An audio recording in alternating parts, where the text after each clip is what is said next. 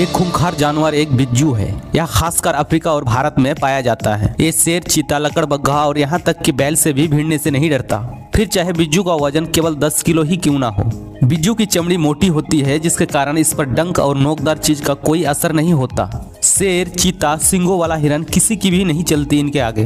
बिज्जू सांप, बिच्छू, छिद्र, खरगोश और कभी कभी चिकारा को भी खा जाता है। यह मधुमक्खी के छत्ते को भी आक्रमण करता है। अगर आक्रमण के समय इसे कोबरा काट ले तो शायद दो घंटे सोने के बाद बिज्जू वापिस जागेगा और बचे हुए कोबरा को ठूस लेगा। मानव के बाद बिज्जू एक लोता स्तनधारी है जो उल्टा भाग सकता है। यह अपनी दुनिया की रजनीकांत है।